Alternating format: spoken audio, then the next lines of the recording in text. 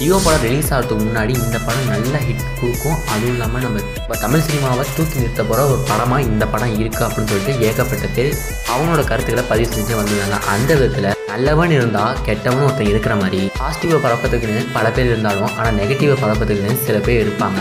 அப்படி ஒருத்தர் தான் மீசை ராஜேந்திரன். இவர் லியோ படம் ரிலீஸ் ஆகிறதுக்கு முன்னாடி ஏகப்பட்டது பேசினார். அதுக்கப்புறம் லியோ படம் ட்ரெய்லர் ரிலீஸ் ஆனதுக்கப்புறம் ஒரு மாதிரி பேசினார். இப்போ லியோ படம் ரிலீஸ் ஆனதுக்கப்புறம் ஒரு மாதிரி பேசுகிறாரு அது என்ன பேசியிருக்காரு அப்படிங்கிறதையும் அதுக்கான நம்ம ஒரு ஹானஸ்டான ரிப்ளை வீடியோவும் இந்த வீடியோ இருக்குது ஸ்கிப் பண்ணாமல் பார்த்து ஜெயிலரோடையும் டூ பாயிண்ட் ஓடையும் தேட்ரிக்கல் கலெக்ஷனில் அது டச் பண்ணாது. டெய்லர் படத்தோட ஃபஸ்ட் டே கலெக்ஷன் அப்படின்னு சொல்லணும்னா நாற்பத்தி நாலு புள்ளி அஞ்சு கோடி தான். டோட்டலாக சொல்ல போனால் ஒரு நாற்பத்தஞ்சு கோடிக்கிட்ட அது கலெக்ஷன் பண்ணியிருக்கு. ஆனால் நம்ம லியோ படத்தோட ஃபஸ்ட் டே கலெக்ஷன் நூற்றி நாற்பத்தி எட்டு புள்ளி அஞ்சு கோடி. ஜெயிலர் படத்தோட பஸ்ஸில் போகிற போக்கில் கலந்து போயிடுச்சு நம்ம லியோ படம். அது மாதிரி ஃபஸ்ட் டே மட்டுமே இந்த மாதிரி கலெக்ஷனை கொடுத்துருக்கு. அப்போ போக போக எந்த மாதிரி கலெக்ஷனை கொடுக்கும்போது நம்ம வெயிட் பண்ணி தான் பார்க்க போகிறோம் ஏங்க ட்ரைலர் வர்றதுக்கு முன்னாடியே ட்ரைலர் சூப்பருங்க படம் சூப்பருங்க முதல்ல பத்து நிமிஷம் அப்படியே தலை தெரிக்குதுங்கன்னு ஏன் நீங்க உங்களுடைய கருத்தை ஏன் மக்கள்கிட்ட திணிக்கிறீங்கன்னு தான் நான் கேட்குறேன் இவர் யாரை சொல்கிறாரு அப்படின்னு கேட்டிங்கன்னா லியோ படத்தை பற்றி நல்ல ஒரு ஒப்பீனியனை கொடுத்தவங்க தான் இப்போ நீங்கள் ஒரு ஆடியன்ஸாக இருக்கீங்க. நீங்கள் ஒருத்தவங்கள்ட்ட படம் எப்படி வரப்போகுது அப்படின்னு சொல்லி கேட்குறீங்க அந்த இடத்துல யாராக இருந்தாலும் சரி என்ன மாதிரி ஒரு ரிப்ளைவை கொடுப்பாங்க? நாங்கள் நினச்சதை விட படம் ரொம்பவே சூப்பராக வந்திருக்கு. இந்த படம் பிளாக் பஸ்டர் ஹிட் அடிக்க போகுது அப்படின்னு சொல்லி தான் எல்லாருமே சொல்லுவாங்க. அது பேர் கருத்தை திணிக்கிறது கிடையாது அவங்களோட கருத்தை சொல்கிறது சோசியல் மீடியா வந்து நீங்க வந்து உண்மையை பேசுங்க ஃபேக்டை பேசுங்க. சோசியல் மீடியாவில் ஒரு மாஃபியாவை உருவாக்காதீங்க. இப்போ இவர் என்ன சொல்ல வர்றாருன்னா சோஷியல் மீடியாவில் உண்மையை பேசுங்க. பொய்யான தகவலை எதுவும் சொல்லாதீங்க அப்படின்னு சொல்கிறாரு இதுவே ஒரு மாதத்துக்கு இவர் முன்னாடி பேசின இன்டர்வியூலாம் எடுத்து பார்த்தீங்கன்னா ஐயோ ஐயோ லியோ படம்லாம் அடிக்கவே வாய்ப்பே கிடையாது. ஜெயிலரை தாண்டாது டூ பாயிண்ட் ஓவை தாண்டாது. சூப்பர் ஸ்டார் ரஜினிகாந்த் யார் யாருக்கெல்லாம் தெரியும்? விஜயை தெரியுமா? அவர் எங்கே? இவர் எங்கே? இப்படியெல்லாம் பேசியிருந்த இவர் லியோ படத்தோட ட்ரெய்லர் ரிலீஸ் ஆனதுக்கப்புறம் ஒரே ஒரு இன்டர்வியூ தான் கொடுத்துருப்பாரு. அதுலேயும் அந்த அளவுக்கு ஆக்ரோஷமாலாம் எதையுமே பேசிக்க மாட்டார். ரொம்பவே சாஃப்டாக தெளிவாக சொல்லியிருப்பாரு. ஆமாம் தப்பு தான் நான் மீசி எடுக்கிறது சொன்னது தப்பு தான் அப்படின்னு சொல்லி பேசியிருப்பாரு. இப்போ லியோ படம் ரிலீஸ் ஆகி ஒரு சின்ன குறை அதில் இருக்கிறத வச்சுக்கிட்டு இவர் எப்படி பேசுகிறாங்கிறத நீங்கள் இதிலே பார்ப்பீங்க இப்போ சொல்லுங்கள் யார் மாற்றி மாற்றி பேசுகிறாங்க அப்படின்னு இன்னைக்கு ஆயிரத்தி நூற்றி பத்தொம்போது கோடி ஜவான் வந்துச்சுன்னு சொல்கிறாங்கங்க அது உங்களுக்கு தெரியுமா? எனக்கு தெரியுமாங்க? நீங்கள் வந்து ஆயிரம் கோடி உண்மையாக சொல்லுங்கள் நீங்கள் ஆயிரம் கோடி ஆயிடுச்சா. அது யாருக்கு தெரியும்? அந்த ப்ரொடியூசருக்கு தெரியும் அந்த ஹீரோவுக்கு தெரியும். ஏங்க உண்மையில சொல்லுங்க உண்மையில சொல்றேன்னு சொன்னீங்க. எப்படிங்க உண்மையில சொல்றது? அப்ப யார் தாங்க உண்மையில சொல்லுவா? இப்போ உதாரணத்துக்கு சொல்ல போனா ஒரு காமனான ஆடியன்ஸோ இல்ல ஒரு சினிமா விமர்சகரோ இந்த படம் இவ்வளவு கலெக்ட் பண்ணிருக்கு அப்படின்னு சொன்னா அது கூட ஒரு பொய்யா இருக்கிறதுக்கு வாய்ப்பு இருக்கு. ஆனா அந்த ப்ரொடியூசர் சைட்ல இருந்தே அஃபிஷியலா இவ்வளவுதான்ப்பா கலெக்ட் பண்ணிருக்கு அப்படின்னு சொன்னா அதையும் நான் நம்ப மாட்டேன். அப்படின்னு சொல்றவங்களா நம்ம என்ன பண்ண முடியும்? கற்பனை அடிச்சு சத்தியமா பண்ண முடியும்? விஜய் சார் வந்து இந்த படம் எண்ணூறு கோடி தேட்டர்கள் கலெக்ஷன் ஆயிடுச்சுன்னு சொல்லட்டுங்க நான் மீஸ் எடுக்கிறேன். நான் மீஸ் எடுக்கிறேன். விஜய் சார் வந்து சொல்லட்டுங்க. அவரே சொல்லணும். அவரே சொல்லட்டுங்க. எண்ணூறு கோடி வசூல் ஆயிட்டுங்க இந்த படம்னு சொல்ல அவரே சொல்லட்டுங்க நான் மீஸ் எடுக்கிறேன். இப்போ அடுத்ததாக ஒரு சவால் விடுறாரு. இது சத்தியமாக நடக்காதுன்னு சொல்லி அவருக்கே தெரியும். அதனால இவ்வளோ தைரியமாக சவால் விடுறாரு. ஏன்னா இது வரைக்கும் எந்த ஹீரோவாது என் படம் இவ்வளோத்துக்கு ஓடி இருக்கு இந்த படம் இவ்வளோத்துக்கு ஓடி இருக்கு அப்படின்னு சொல்லி வெளியே வந்து சொல்லுவாங்களா?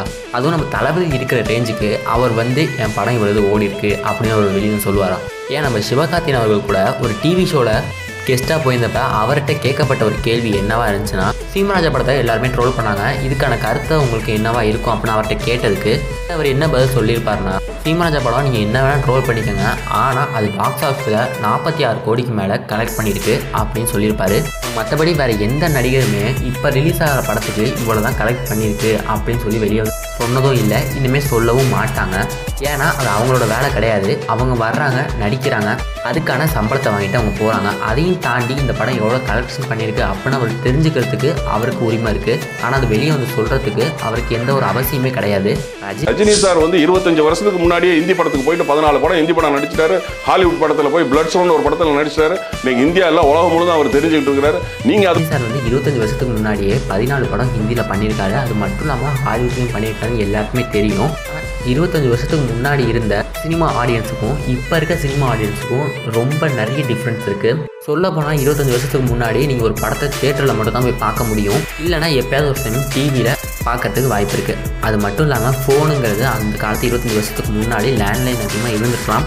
இப்போ ஒரு பத்து வருஷத்துக்கு முன்னாடி தான் இந்த செல்ஃபோனோட ஆதிக்கம் அதிகமாகிட்டே வந்துகிட்டு இருக்கு. அது மட்டும் இல்லாமல் ஜியோ உள்ளே வந்ததுக்கு அப்புறமே தான் இன்டர்நெட் யூஸ் பண்ணுறது அதிகமாகிருக்கு அதனால் இவர் இங்கே போய் நடிச்சிட்டா ஃபேமஸ் ஆகிடலாம் அங்கே போய் நடிச்சிட்டா ஃபேமஸ் ஆகிடலாம் அப்படிலாம் ஒன்றுமே கிடையாது. இப்போ இருக்க இன்டர்நெட் வேகத்துக்கு இங்கே இருந்தே நெட்ஃப்ளிக்ஸ் அமேசான் ஹாட் ஸ்டார் இது மாதிரி ஓடிடி பிளாட்ஃபார்மில் நான் எந்த நாட்டில் இருக்க படத்தை வேணால் பார்க்கறதுக்கு முடியும். ஸோ அதே மாதிரி நம்ம தளபதியை எந்த நாட்டிலேருந்து வேணால் பார்க்கலாம். அவர் அங்கே போய் நடிக்கல அதனால் அவருக்கு அங்கே மார்க்கெட்டில் இவர் இங்கே போய் நடிக்கல அதனால் இவருக்கு இங்கே மார்க்கெட்டில் அப்படின்லாம் சொல்லி ஒன்றுமே கிடையாது. கம்பேர் பண்ணாதீங்கிற ஏன் கம்பேர் பண்றீங்கன்னா ஏன் கொஸ்டின் நீங்க? அதை விட்டுட்டு நீங்க கம்பேர் பண்ண வேண்டாம்னு சொல்லி இவர் சொல்கிறாங்க இவர் தான் ஆரம்பத்திலேருந்தே நம்ம தளபதியும் சூப்பர் ஸ்டாரையும் கம்பேர் பண்ணார். தளபதியோட வாரிசு படத்தையும் சூப்பர் ஸ்டாரோட டூ பாயிண்ட் ஓ படத்தையும் கம்பேர் பண்ணார். லியோ படத்தையும் ஜெயிலர் படத்தையும் கம்பேர் பண்ணார். இப்போ இவரே எந்த படத்தையும் கம்பேர் பண்ணாதீங்க அப்படின்னு வேற சொல்கிறாரு இவரை புரிஞ்சிக்கவே முடியலையே. ட்விட்டர் போட்டிருக்கேன் நான் திருச்சியில இருந்து நான் போய் ஐயாயிரம் ரூபாய் செலவு பண்ணி நான் கேரளாவில் போய் படம் பார்த்தேங்க. எனக்கு வந்து ஏன்டா பார்த்தோன்றது ஒருத்தன் போய் ட்வீட் போட்டு விட்டுருக்கான் நீங்கள் நல்லா யோசிச்சு பாருங்க. தமிழ்நாட்டில் ஒன்பது மணி ஷோ தான் போடுறாங்க. ஆனால் கேரளாவில் நாலு மணி ஷோ போடுறாங்கன்னு சொல்லி ஒருத்தர் இங்கே ஐயாயிரம் ரூபாய் செலவு பண்ணி கேரளாவில் போய் ஃபஸ்ட் டே ஃபஸ்ட் ஷோ பார்க்குறாரு அப்படின்னா அவர் ஒரு நார்மலான ஆடியன்ஸாக இருப்பாரா? இல்லை ஒரு தளபதியோட வெறியனாக இருப்பாரான்னு?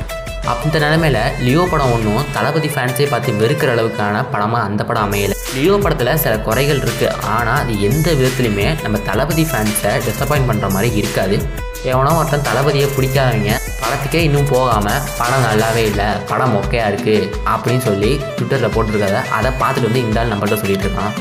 நான் ரசிகர்கள் எல்லாம் அவனுக்காக தான் நான் பேசிட்டு இருக்கிறேன். எனக்காக மட்டும் நான் பேசல. அவனுக்காக தான் பேசுறேன். அவன் ஐநூறுரூவா சம்பாத்தியம் பண்ணிட்டு வரான் எப்படி சம்பாத்தியம் பண்ணிட்டு வரான் இப்போ நீங்கள் பேசி ஒரு பத்து பைசாக்கு பிரோஜனம் இருக்கா? இப்போ நீங்கள் பேசினா டிக்கெட் விலையை குறைக்க போகிறாங்களா இப்போ இந்த படம் ஜெயிலர் வசூலை பீட் பண்ணாது அப்படின்னு சொன்னால் அது எந்த விதத்தில் மக்களுக்கான ஒரு விஷயம் அப்படின்னு சொல்லி நீங்கள் பேசிட்டு இருக்கீங்க? நீங்கள் உங்களுக்காண்டி பேசிட்டு இருக்கீங்க உங்களோட பப்ளிசிட்டிக்காண்டி பேசிட்டு இருக்கீங்க அப்படிங்கிறது ஊர் உலகத்துக்கே தெரியும்.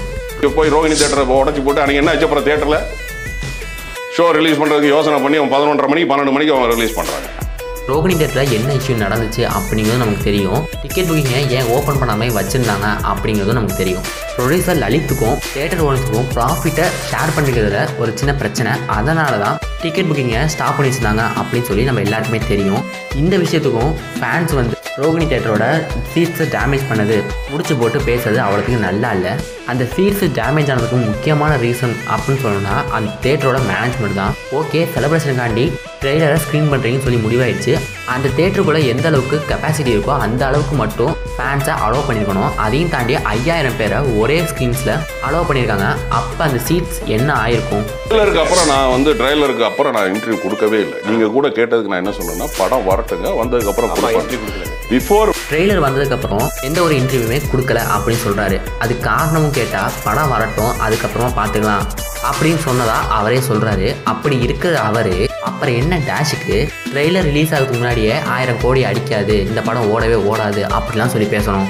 இப்போ நீங்கள் உங்கள் மனசை தொட்டு சொல்லுங்கள் நீங்கள் போய் இந்த படத்தை ரிப்பீட்டடாக மூணு தடவை பார்ப்பீங்களா நான் ஜெயிலரை மூணு தடவை பார்த்தேன்.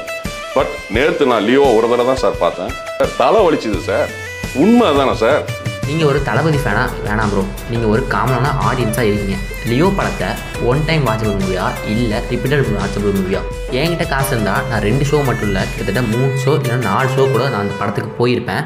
ஏன்னா அந்த அளவுக்கு ஒரு தியேட்டர் எக்ஸ்பீரியன்ஸ் அந்த படத்துக்கு இருக்குது இந்த படத்தோட மைனஸ் அப்படின்னு சொல்ல போனால் அந்த படத்தோட கேரக்டரைசேஷன் கரெக்டாக பண்ணலை. அந்த ஒரு விஷயத்தை தவிர இந்த படம் ஒஸ்ட்டு அப்படின்னு சொல்கிறது வேறு எந்த ஒரு விஷயமே கிடையாது.